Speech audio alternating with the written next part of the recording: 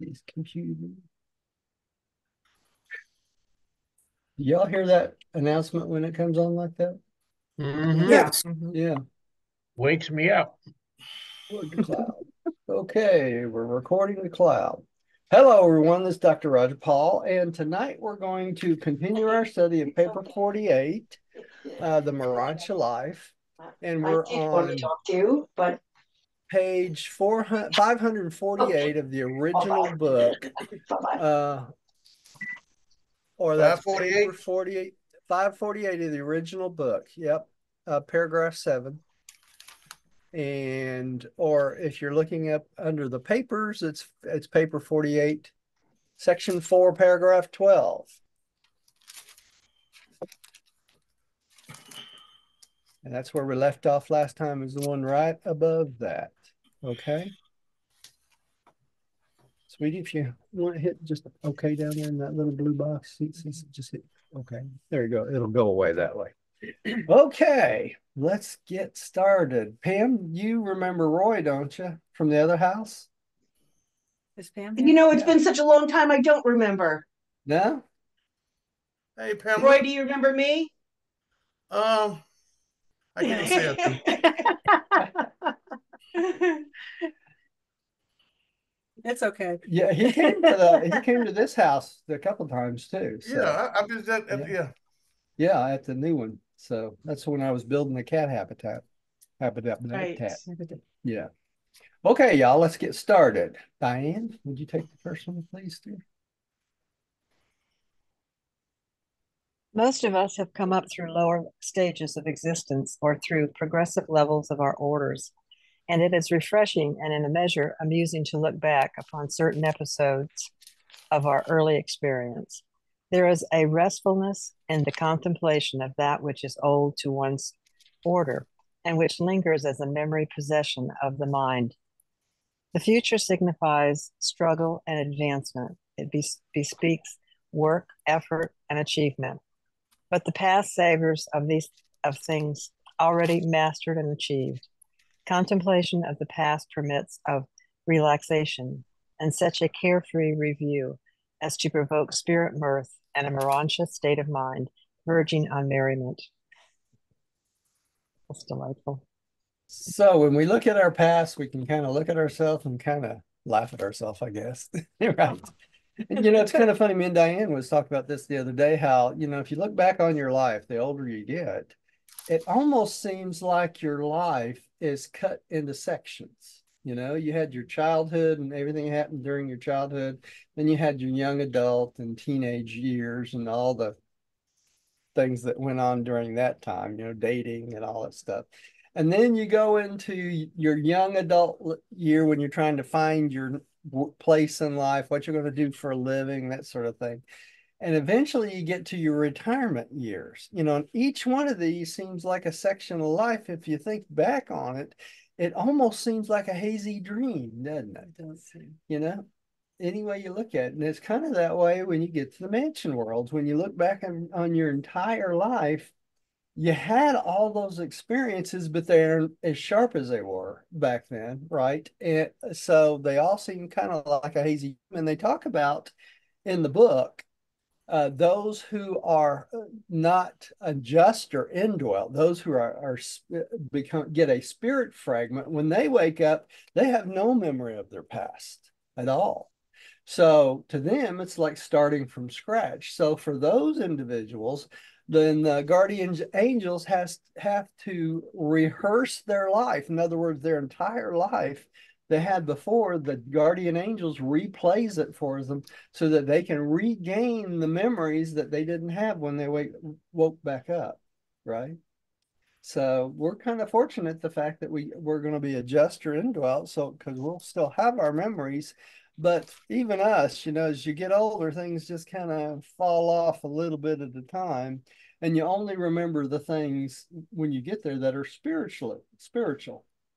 And the th- point I need to make here is this: every relationship you have with another human being is what? Spiritual. That's right. That's right.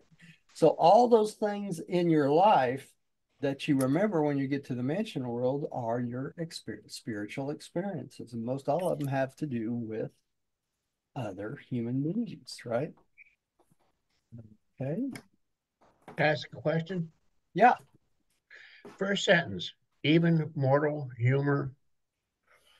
We come from, no, you changed the screens. You son of a Oh, did I? Yeah. There we go.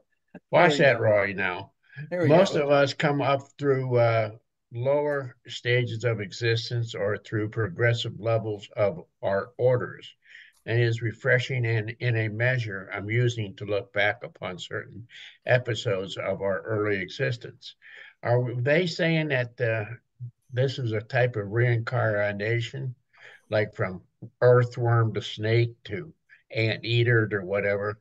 Well, I- Or I- I- is I don't what what's that sentence saying?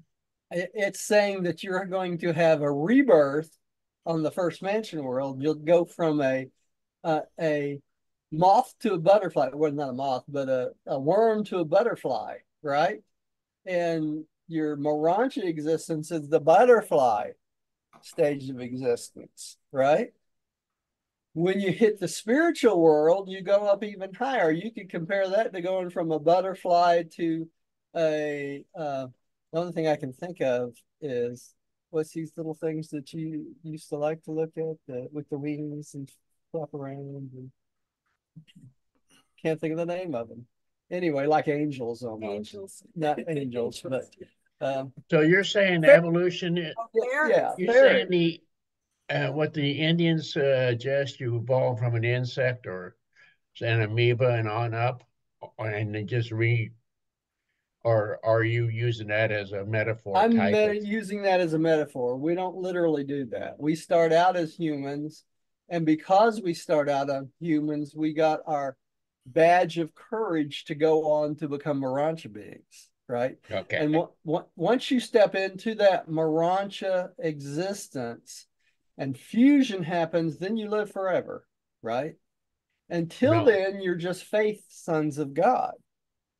Okay, up to the time of fusion. And that includes on the mansion worlds. On the first few mansion worlds, for most people, they're still just faith sons and daughters of God because they're waiting to fuse to become what? Real sons of God. Make sense? Mm-hmm. Now, yes, Okay. So you did very well today. All right. Let's talk about this paragraph just a little bit more before I just skip right over it like I did. All right.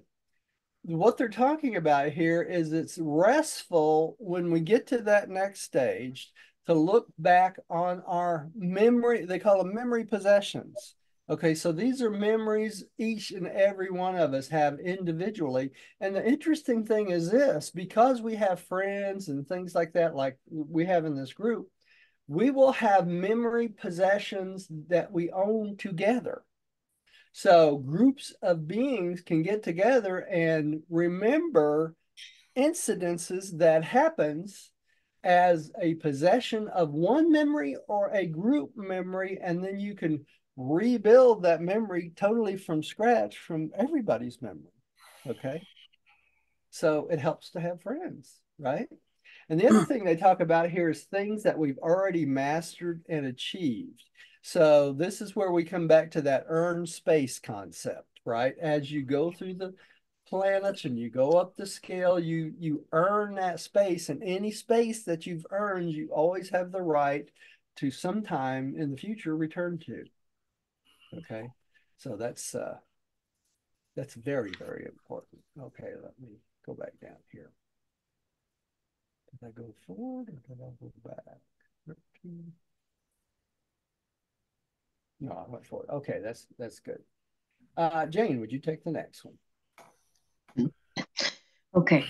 Even mortal humor becomes most hearty when it depicts episodes affecting those just a little beneath one's present developmental state, or when it portrays one's supposed superior falling victim to the experiences which are commonly associated with supposed inferiors. You of Urantia have allowed much that is at once vulgar and unkind to become confused with your humor. but on the whole, you are to be congratulated on a comparatively keen sense of humor. Some of your races have a rich vein of it and are greatly helped in their earthly careers thereby. Apparently, you received much in the way of humor from your Adamic inheritance, much more than was secured of either music or art. So it's good to have humor, right? And if you're lucky, you can see the the humor in all the things that you tried in life and failed, right? You go on, you learn from it, and hopefully you learn from it anyway. Trouble is with our planet, because we've got so much sin and rebellion still running rampant around here, most of our humor is vulgar and unkind. Okay, and you can see that just turn on any channel on the TV, right? Most of the stuff we consider humorous is really cruel and indifferent to other people, which is not a good thing. But there is good humor out there if you just look for it, right? Oh. All right. Yeah, Roger, yeah. before Adam and Eve, uh, us mortals didn't respond to humor. No, we didn't find find anything funny, right?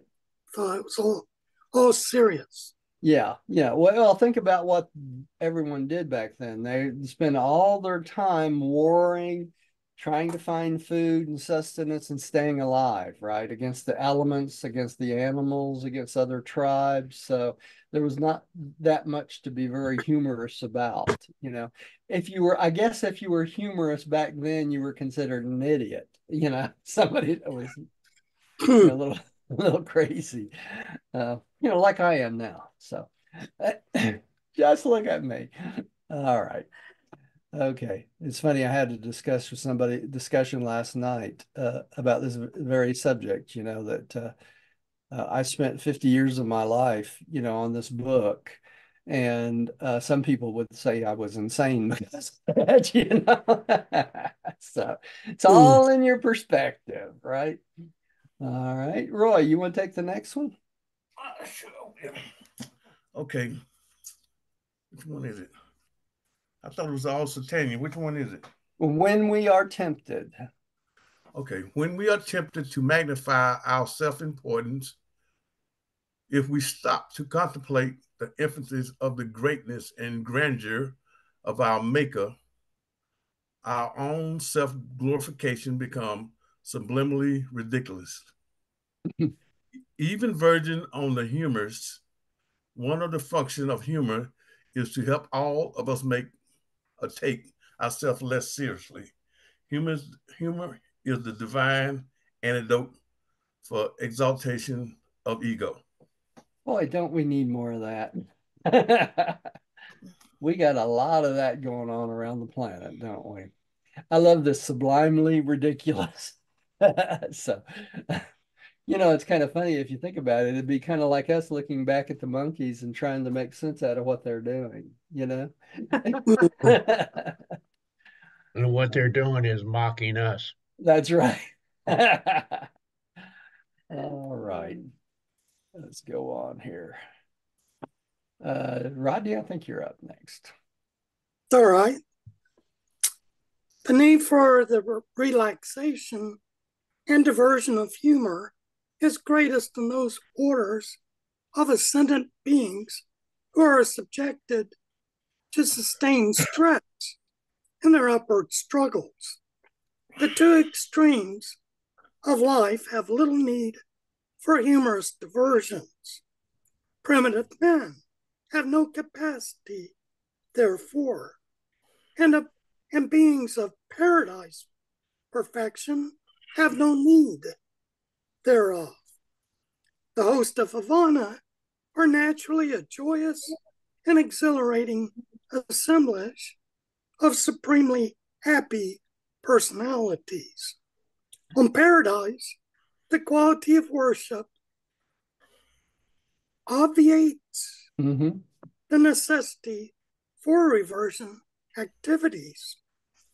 But among those who start their careers far below the goal of paradise perfection, there is a large place for the ministry of the reversion directors. Okay, so by the time you get to paradise, you don't need the humor anymore. It, it's been replaced by a joyous life and a perfect existence, right? You know, and it's hard for us to understand that because we have no planets that we've been to that's near light and life or even close that we could comprehend living an existence that is uh, totally joyous, spiritual, that sort of thing all the time.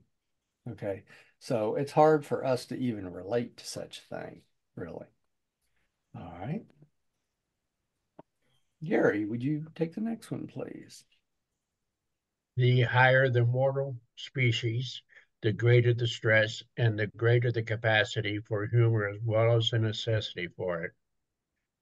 Um, in the spirit world, the opposite is true. The higher you ascend, the less the need for diversions of, of reversion experience. But proceeding down the scale of spirit life from paradise to the seraphic hosts, there is an increasing need for the mission of mirth and uh, the ministry of merriment. Those beings who most need the refreshment of periodic reversion to the intellectual status of previous experiences are the higher types of human species, the more uh, angels, and the minister material sons, together with all similar types of personality. So the lower you go, the uh, smarter son of a gun you should be. That's well, you you need reversion uh, because you get exhausted spiritually, and you know think about it this way: even the angels appreciate our humor. Okay. And that, why is that? That's b- because they're on the lower end of the scale too. They start out on the lower end of the scale. So they uh, enjoy reversion just like we do, which makes perfect sense because if they accompany accompany us on everything we do as Morontian beings, uh, they'd be bored to death if if they didn't, right?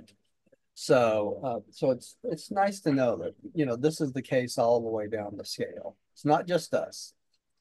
All right. Let's see here. Pam, I think you're up. Okay. Humor should function as an automatic safety valve to prevent the building up of excessive pressure due to the monotony of sustained and serious self contemplation in association with the intense struggle for developmental progress and noble achievement. Humor also functions to lessen the shock of the unexpected impact of fact or of truth, rigid, unyielding fact, and flexible, ever living truth. The more personality, never sure as to which, oh, the mortal personality, never sure as to which will next be encountered through humor, swiftly grasps sees the point and achieves insight, the unexpected nature of the situation uh, of the situation be in fact or be it fact or be it truth. Okay, because when we as human beings, uh, or Moronti beings even, uh, come in contact with fact and truth, sometimes it's shocking to us. Think of it this way. When what was your reaction the first time you read in the Urantia book that Christ didn't die for your sins? But that was shock, was it not? I mean, kind of a for me it wasn't. Oh, well, I oh, was relieved. No, yeah. for me. yeah, Yeah. it was for me. I thought, you know, I've been taught my whole life. I've been out preaching that that Christ died for our sins, you know. And when I read this in this book that he didn't die for our sins, it was a big, big, fat, big, big shock to me because I had never been taught that uh, no sacrifice was needed for sin and that God the Father forgave us of our sins. So that's a, just a, uh, what you would consider a rigid, unyielding fact. There's no grounds to go either way with it. Okay. And when you run into something like that, or uh, unyielding tr truth or unflexible truth, when you find these truths, sometimes it's shocking to you. And one thing's for sure, if you read this book, you're going to find some shocking truths all the way through it. Are you not? Troy. So it, mm-hmm. it makes a big difference. So if you understand that, it kind of prepares you a little bit for it. And part of the humor they're talking about here is kind of a pressure valve for discovering these things and being to live with it and incorporate it into your life. Okay. Hmm. now my wonderful wife's going to read next.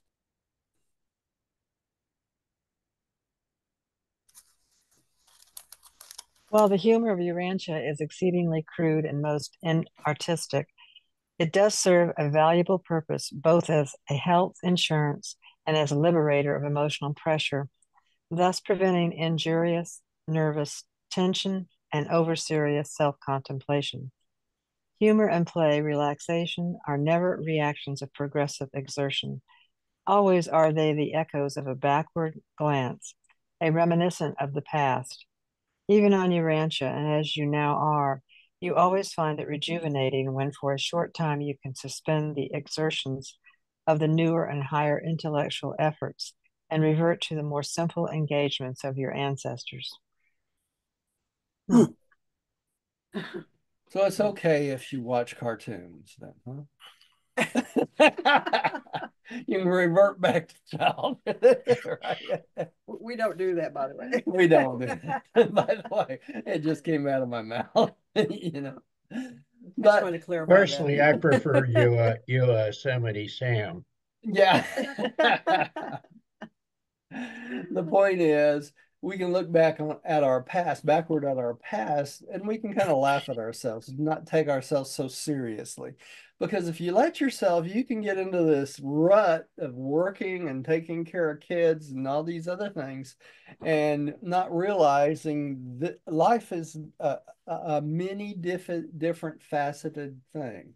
You know, you got to everything in moderation, as they say, right? If you get too serious, you're getting too serious well, a lot has to do with how you're what how you were raised too, you know. Yeah. I mean, it's hard to get over some things.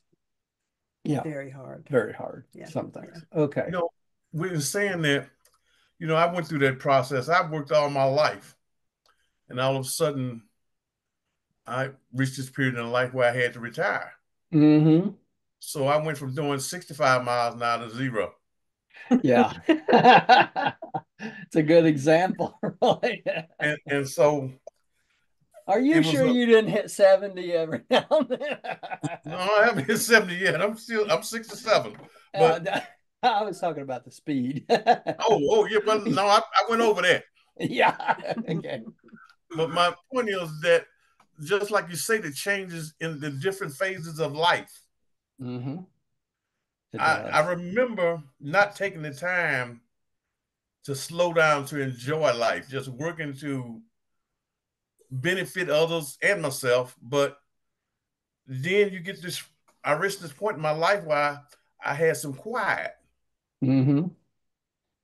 And I contemplation and time, right? Contemplation time. And yeah. so I went through that process and you know, people's asking me now, oh, Roy, you know, you had your own business for uh, blah blah blah. You don't miss? No. Yeah.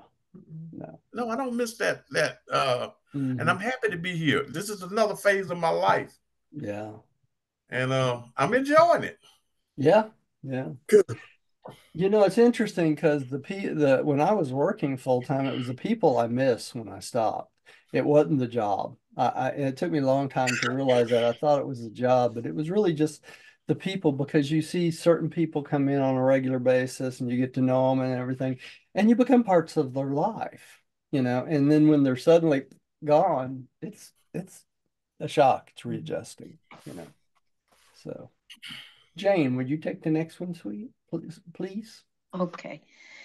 The principles of Urantia play life are philosophically sound and continue to apply on up through your ascending life, through the circuits of Havona to the eternal shores of paradise. As ascendant beings, you are in possession of personal memories of all former and lower existences. And without such identity, memories of the past, there would be no basis for the humor of the present, either mm-hmm. mortal laughter or Morontia mirth. It is this recalling of past experiences that provides the basis for mm-hmm. present diversion and amusement. And so you will enjoy the celestial equivalent mm-hmm. of your earthly humor all the way up through your long Morontia and then increasingly spiritual careers. And that part of God, the adjuster, which becomes an eternal part of the personality of an ascendant mortal, contributes the overtones of divinity to the joyous expressions and even spiritual laughter of the ascending creatures of time and space. Sounds wonderful, doesn't it? It does sound wonderful. You know, Yeah. not I much. just human- thought of something. Yeah. We're evolving to a humorless e- environment. How do you figure that? Well, eventually in paradise, yeah, I guess. But So really, I mean, you know, am I not right? I mean, because we once we evolve higher, the Yeah. need for humor is not. as needed. essential. That's right. Yeah, because you go up on the spiritual ladder, right? Mm-hmm. In this world, though, we need as much humor as we can get, right? All the time. So Do you think Biden will take uh, credit for uh, that or not? mm, I doubt it. No politics. no politics. That's right. Uh, All right. Man five, the Mansion World teachers. Let's see who's up. Uh Roy, I believe you're up again. All right, number five, the Mansion World Teachers. The Mansion World Teachers are a corp of deserted but glorified cherubims and seraphins. When a pilgrim of time advanced from a trial world of space to the mansion and associate worlds of Morontia training, he is accompanied by his personal or group seraphim, the guardians of destiny. In the world of mortal existence, the seraphims are amply assisted by cherubims and seraphins. But when her mortal ward is delivered from the bonds of the flesh and start out on the ascended career, when the post material or Morontia life begin, the attending seraphim has no further need of the ministration of her former lieutenant the seraphim and Selnif. The Xenophi- cherubim and sanobim. These yeah. these are the two little angels, right? When you get assigned your guardian of destiny or your angels, two angels, two seraphim, you're also assigned one cherubim and one sanobim. Now, when you pass and you go on to the mansion worlds, the services of the cherubim and sanobim are no longer required by the seraphim. Okay, so they're relieved from duty, and many time they go on to become mansion world teachers. Okay, because they've got experience with a human being. mhm. Okay, but unlike the seraphim, which are assigned to you and will stay with you all the way through the process, the cherubim and the sanobim will be released to do other functions and become teachers and that sort of thing. Okay, so that's what they're talking about here. Okay, but uh, it says that uh, the corpse of deserted but glorified. So these are fallen serpents. No, these are these are the cherubim and the sanobim are not the same class as the seraphim. Okay. But I'm saying, so, Yeah, the seraphim are guardian seraphim. That's what they call them, guardian angels, right? And on the, when you reach the third circle, you're assigned two of those, and you're also assigned a cherubim and a sanobim, which are the lesser angels. But when you graduate and go on to the mansion worlds, the seraphim no longer needs them to help with you. So they're released from service, from your service as a mortal, and then they many times go on to become mansion world teachers. Now, that's not always the case. Sometimes they're reassigned to another human being on the planet. So that's it differs for different people. Yeah, Pam. Um, so you see on the second line there, deserted. I, I didn't Yeah, really kind of understand. Yeah, because when you go on, they don't follow you. That's why they call them deserted. Hmm, In other words, when you leave the planet, the seraphim Yeah. goes with you. They stay here and they have to be reassigned either to another mortal or Yeah. to uh, another job on the mansion worlds. okay. Okay. That's why they're called deserted. Yeah, Gary. What is the function on this world of the Seraphim and Sanobim? They make life difficult for you. That's the easiest keep way. records. They put That's not right. I've got a wife for that. I'm I'm joking about that, but really in reality, that's what they do. They put things in your pathway, in your experience, so that you can make spiritual decisions. Okay. So their job is to put things in front of you or put put you in situations so that you can learn from these situations and make more and more and more decisions because their job is to ha- make you grow in this lifetime. When the, when you get to the next lifetime, when you get to the Morontia lifetime, it's the same thing. They're there to help you push you along, help you grow, answer questions for you, do everything possible to make sure you spiritually go from one section, one thing to another. Okay? So that's really their job. Now, the cherubim and sanobim are usually used for recording. Okay? Everything in your life. Now, the seraphim do this same job, but the seraphim, if both the seraphim are busy doing something, they just give this responsibility to the cherubim or the sanobim so that every single thing that happens in your life is recorded so that you can take that with you to the mansion worlds. So nothing is lost. Okay? And people say, boy, if they're recording everything I do, boy, I better watch what I do, right? they take into account that you're human beings, so don't worry. All right. All right. Roy, did you have a question or was that Excuse me. No, that was it. I just wanted to understand the okay. deserted part of that. okay? Rodney? You said uh, that they're either uh, that they either minister to another mortal or Yeah, yeah, they're released to go to the mansion world to Right. become a mansion world teacher. right. Mansion World teacher. Okay. Now they're the perfect beings to teach all these people that refuse to read the Urantia book. Why? Stand. Because they have experienced everything in a human life at least once, maybe many times. Mhm. And they have personal experience being an angel for another, all types of mortal beings, so they can relate to you on a level just as if they had been there themselves, because they had been there themselves. Make sense? Yep. Okay.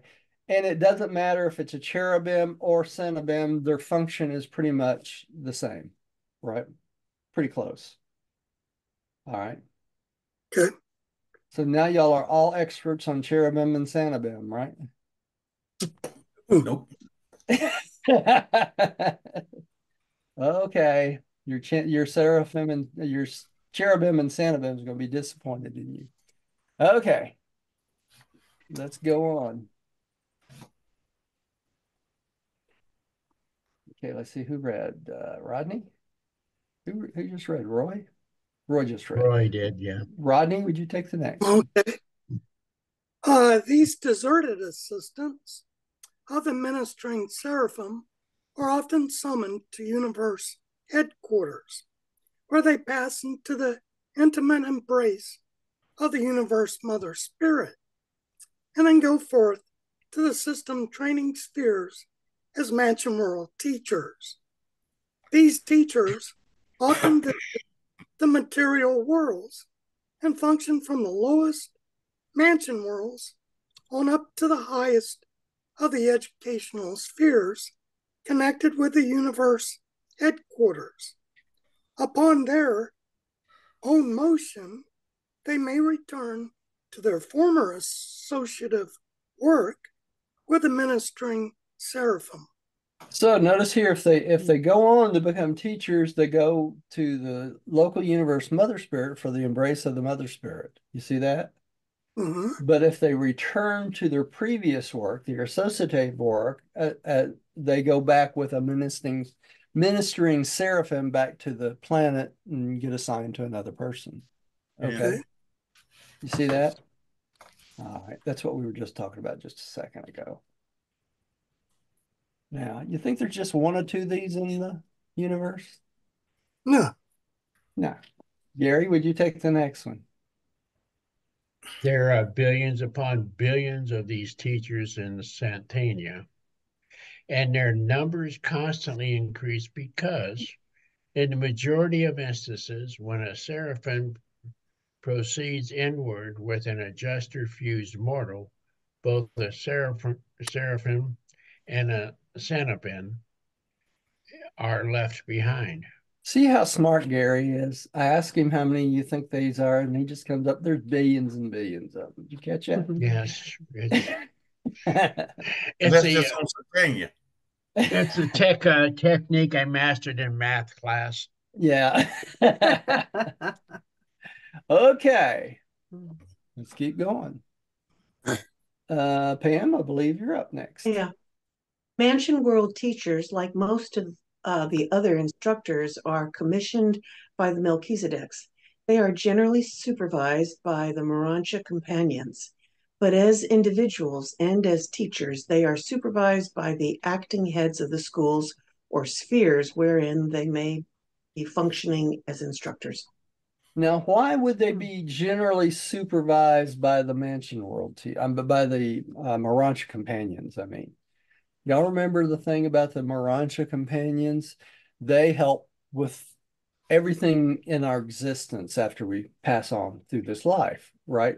So the Moranchan companions can help relate to these teachers what's going on with each individual person as they're going through their training and that sort of thing. So that's why they're generally supervised by these companions, but they're trained by the heads of the the schools and the Melchizedeks and that sort of thing. Yeah, Gary.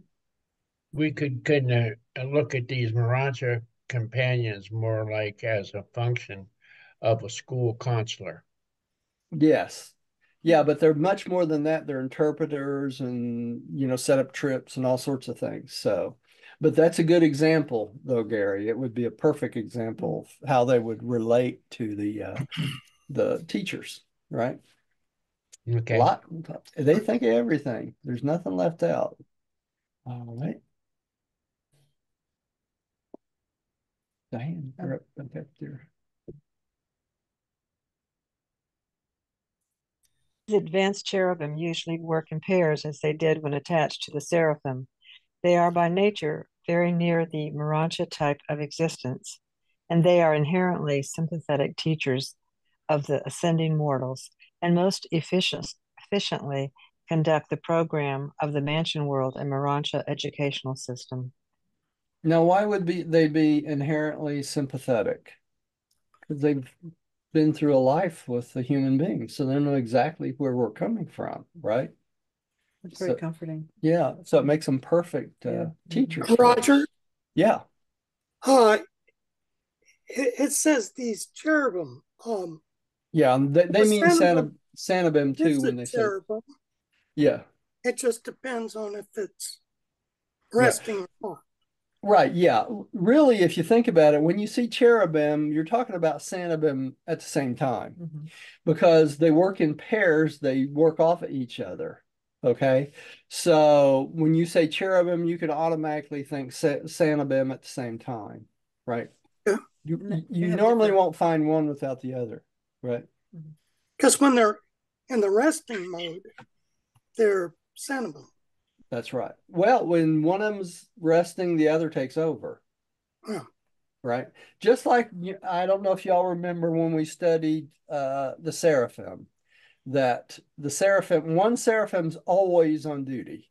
When one is resting or recharging, the other one's on duty and they record everything. At the same time, it works the same way with the cherubim. So the cherubim record everything. When they go into rest, the sanobim takes over recording everything. Now, why do you think this is so important? That's like a duplicate recording all the time, right? On two different levels. Why do you think this is so important? Which part?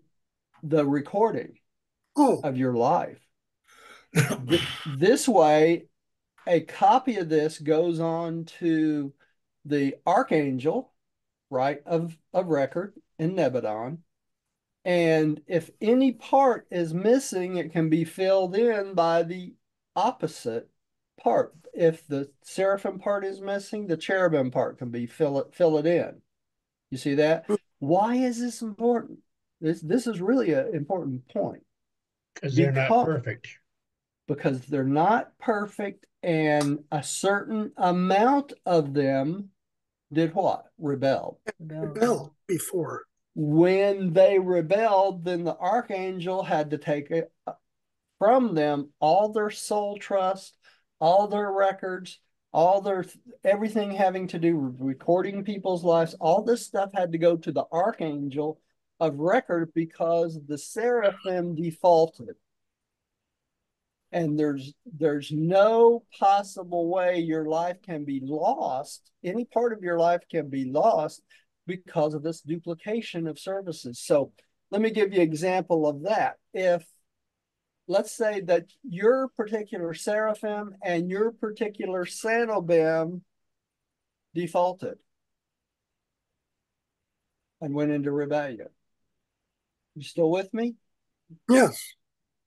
If that was the case, the the, uh, the records they hold would immediately default to the archangel, to the archangel circuit, and that's the reason that the archangel of circuit of our circuit is present when they revive you because they have to verify that the person they put in this new body is you, your hmm. personality.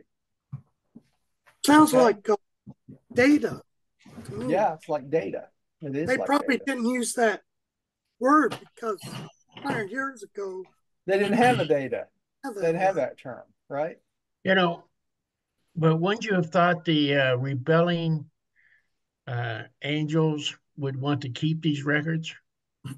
Didn't matter if they did or not. An archangel's more powerful than a regular seraphim. The archangel, yeah. the the archangels have dominion over all the angels. Well, they're called they're archangels. Paradise they're, right. They're paradise angels. That's right. They're actually they become local universe angels, but they start out as paradise angels but many of them are local universe angels. These are archangels that are created by the creative mother spirit and the low and oh, really yeah, uh, created by the local the local creator son and the creative mother spirit. But no universe can be functioning without a full core. I think it's like a thousand archangels all the time. So these archangels of the super universe are loaned to the local universe until the creator son and the creative mother spirit creates their own. Okay. I wasn't aware of that. Yeah. It's very complicated the way all this huh? It is complicated. Yeah, all the all this stuff is worked out. But the whole point is this the archangel has dominion over the seraphim, so they can literally take those soul tra- in other words there's no possible way even if your seraphim rebels that any part of you has ever been lost does that make sense the checks and balances so when you meet your archangel when you wake up you should thank him for making sure you are you yeah. you're not you're not somebody else your memory or, is yours if you want to be a rockefeller Of course, being Rockefeller wouldn't matter in the mansion worlds, would it? No. No. right. You know, it's kind of funny, you know, the older you get, the less they le less you're attached to things, you know. And when you're sitting at that time of death and you realize that all these things you've worried about your whole life mean nothing, you know, they really don't. The house, the cars, the whatever.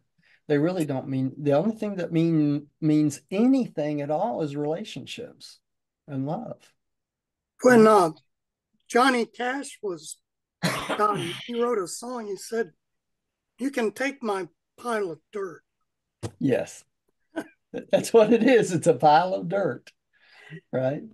it makes me funny when I think about all these guys that's got these fancy cars they've built in their garage. I built one when I was younger, you know. I got all these fancy cars built in their garage, you know, they take out on the weekends and ride around looking cool, you know, and they don't mean anything. yeah. When Well, they you know, die. I don't, you know, I kind of understand what you're saying, but isn't that a form of recreation? Like I, uh, I uh, fish, It is. It and is. I It's don't have of- yeah. anything fancy or anything like that now. You know, Yeah. But Gary, it Uh, becomes a problem when it becomes a problem in your life. In other words, when you put those things above other things that are more important. And what's more important? Any relationship you have, right? So Yeah. if you if you come out and your wife says, "Won't you get out of this garage?" What do you need to do? You need to Get out of the the uh, go have a drink with your wife. out of the garage, you know. All right. With me, it's my old shed now. It's a tool shed that never gets used. Yeah, lots of tools. Lots of tools. Okay, let's move on. Who's next? I think Jane was up next. Did you just redo? Um, I I think I think Huh? Diane read last, wasn't it, Diane? Yeah, I think it was. Jane, take this next one. Okay, okay. In the schools of the Morontia life, these teachers engage in individual, group, class, and mass teaching. On the mansion worlds, such schools are organized in three general groups of 100 divisions each. The schools of thinking, the schools of feeling, and the schools of doing. When you reach the constellation, there are added the schools of ethics, the schools of administration, and the schools of social adjustment. On the universe headquarters, worlds, you will enter the schools of philosophy, divinity, and pure spirituality. Notice as you go higher, the the subjects become a little more important, right? I mean, any any way you look at it, you know, because we got a pretty good school of feeling on this planet, don't we? Everything is touchy-feely, right? So you could say we get our feel of the touch of feel, the school of feeling. Now, some of us get a little bit of the school of thinking, but not all of us, right? All right. The schools of doing, I put my time in on that one. I'll tell you that, you know. So sometimes we get the opportunity to do that, and sometimes we don't. All Well, I've right. got it made with a school of thinking because I think of doing all the time. Good one, Gary. Yeah. That's very Thank you. Uh, okay, Roy, you take the next one, please. All righty. Those things which you might have learned on earth, but which you failed to learn, must be acquired under the tutelage of these faithful and patient teachers. There are no royal roads, shortcuts, or easy paths to paradise. Irrespective of the individual variations of the route, you master the lessons of one spirit before you proceed to another. At least this is true after you once leave the world of your nativity. So all those things that you think you're gonna get out of learning, you don't, you know. So if you don't learn it in this life, you're gonna have to learn it in the next. That's what I harp on all the time. If you don't learn this book on this life, you're gonna get to learn it on the next one, right? Because these are basic concepts of Mhm. what? Yeah. Our local universe. Okay. Uh, but you know, this is something, even in the first paragraph, it said the future signifies struggle and advancement. It beseeks work, effort, and achievement. So, you know, we never stop. Always, we we always going to have responsibility. Mm-hmm. And Yeah. so strive, as strive, as- strive, right? Yeah, we're always striving. So there's no point in this evolution or this progression where we say I don't have any responsibility. And I say that because you know people, a lot of people talk about going to heaven Mhm. and running out of things to do. Yeah, yeah. You know, it always brings me back to the same thing, and I probably mentioned this years and years and years ago. It always reminds me of this movie called Zardoz. And you We've remember? seen it so many times. Yeah, it, it's got the guy that played uh oh, who was the secret agent? Oh, Maxwell Smart? No, uh The Jew, the Jewish guy, um, uh, he played um, oh my goodness, I can't think. Um Jewish guy. They make they made all kinds of secret agent movies. He started out making five or six, and then some other guy took it over. And anyway, it was a series. But he played in this movie called Zardoz, and Zardoz was a barbarian, rode a horse, ran around, killed people, and that sort of thing on this planet. And on this planet, it was close to like a kind of a city complex and stuff. But on this planet, you go to a certain spot, and there's this clear wall surrounding this area, and you can't penetrate this wall. So all the barbarians were stuck on the outside of the wall, and all the eternal people were on the inside of the wall. Okay. So what happens is one of the guys gets tired of living and this this is my point. One of the guys that was on the inside of the wall, got bored okay because he ran out of things to do. And so what he did is he let and nobody killed each other in this perfect place inside this wall. Everything was hunky-dory. But their lives went on and on and on. Nobody got older if they did something wrong, they would add 10 years to their life, that sort of thing, you know. So that's the only way anybody got older, but nobody ever died. So one of the guys got the idea that if he got one of these barbarians inside the wall, then that he could kill off all the Eternals. Okay. And it's interesting because he sneaks this guy in and he starts killing people like crazy. And it's kind of funny because he takes him to this library at one point and shows him this book. And guess what the book was? The Wizard of Oz. And that's where Zardoz came from, the Wizard of Oz. So the whole point was that all these things that they thought of life was all a scam, was not true. Okay. But it's interesting, they say here, uh, it was talking about how you can't avoid problems, procrastination, and stuff, even through eternity, because why? Sooner or later, you have to deal with it, right? That's the way it is. That's why it reminds me of this every time I read this. You know, this this movie Zardoz. You know, and the movie wasn't that great, but it was No. just yeah, yeah. But it was just an example of the way human beings think of things. You know, what's reality and what's not. And just the fact in this movie there was an imperfect side and a perfect side. And you'd think the imperfect side would want to be inside the perfect side, but it was the opposite way. The imperfect, the perfect side was jealous of the imperfect side. Now, what does that sound like to y'all? Yeah. Kind of sounds like our life, right? And how the Caligastia 100 became jealous of the humans because they had all this opportunity, right? It's all in how you look at things. All right. Uh, who we have next? You just read, Roy? You just read. I think I just read. Okay, Rodney, would you take the next? one? Yeah, sure. Um,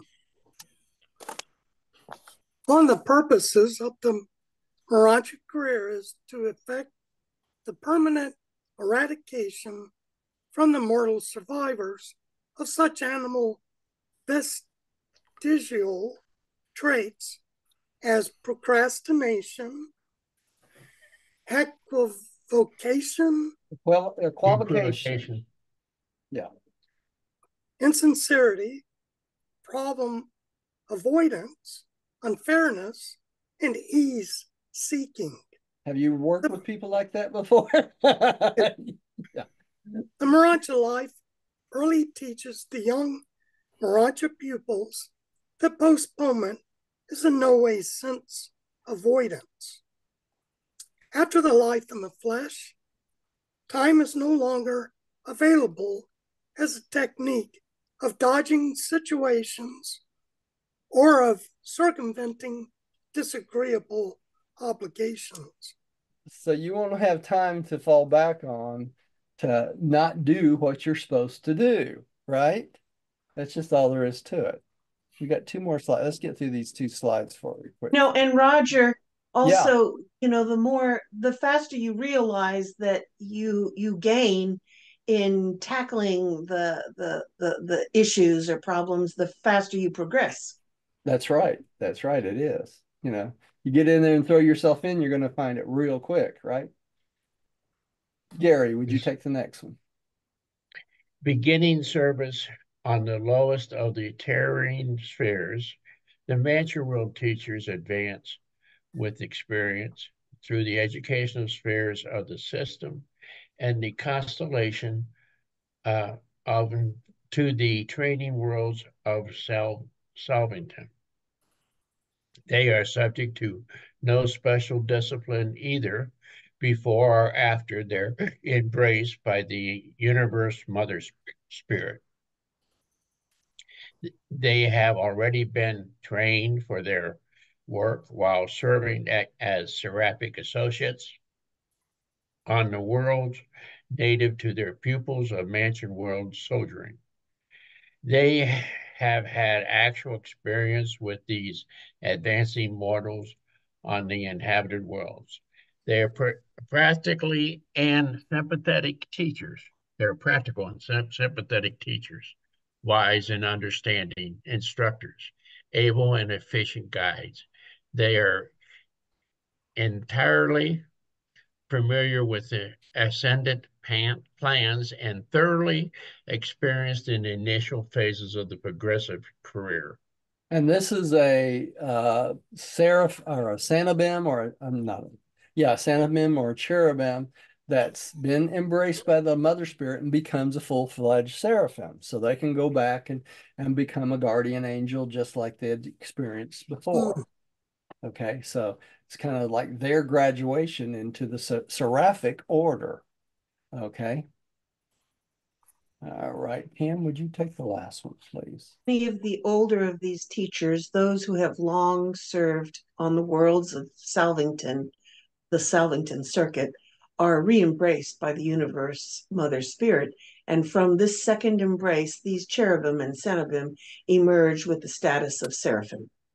Okay, so that's how they become, they go up in order as as seraphim at that point. But you know, it's kind of funny if you think about it, y'all. If they become seraphim, what's the first first thing they're going to have to do?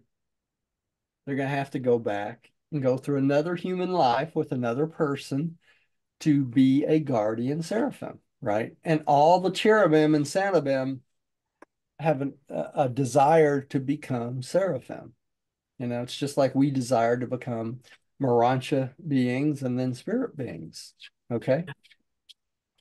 That explains why the uh, Seraphim can delegate or supervise the uh, mm-hmm. sort, uh, sort. I can't. There's other two. Cherubim and Seraphim. Yeah, because they've experienced it, they've done it, so they can yeah. supervise. That's right. That's mm-hmm. exactly right. Makes sense.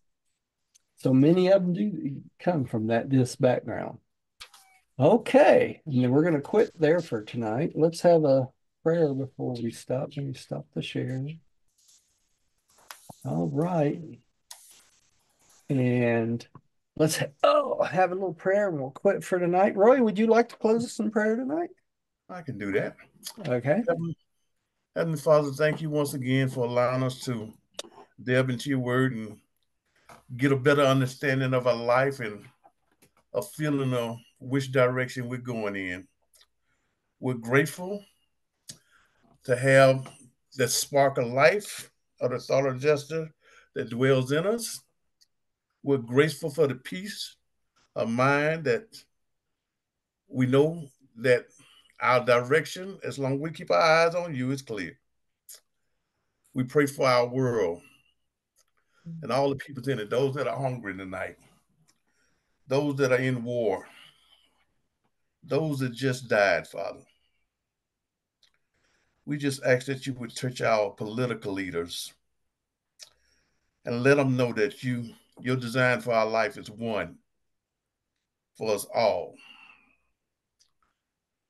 Thank you for these wonderful friends that we share the word with.